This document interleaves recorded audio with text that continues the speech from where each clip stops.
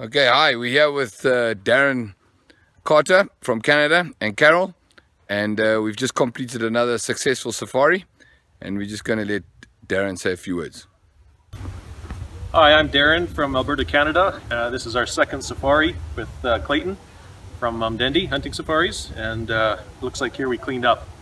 We had a 14-day hunt the first trip, our second trip was a 12-day hunt, and uh, yeah, we came back because we had such a great time the first time. So uh, I want to give a big uh, thanks to Clayton, his staff, his, uh, his helpers, everybody, the lodge people, um, accommodations, the food, everything was just fantastic.